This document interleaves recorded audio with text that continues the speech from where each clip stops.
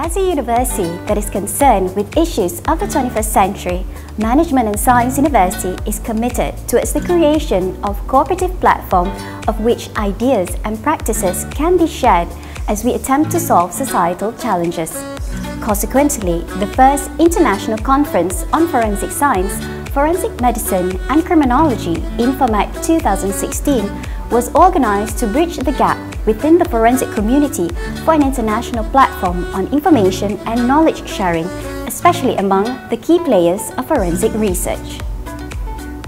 Management in Science University was the organizer and host for the first international conference on forensic science, forensic medicine and criminology which was held on 19th and 20th April 2016 with the intention to bring international experts of forensic medicine, forensic science, law professionals, forensic psychology and criminology from different parts of the world.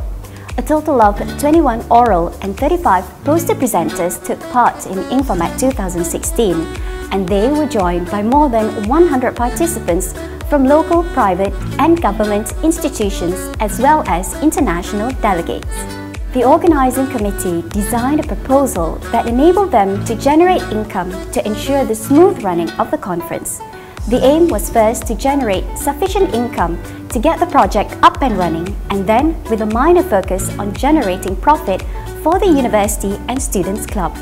With this in mind, the organising committee focused on obtaining sponsorships, whereby a total of 8,000 ringgit was achieved.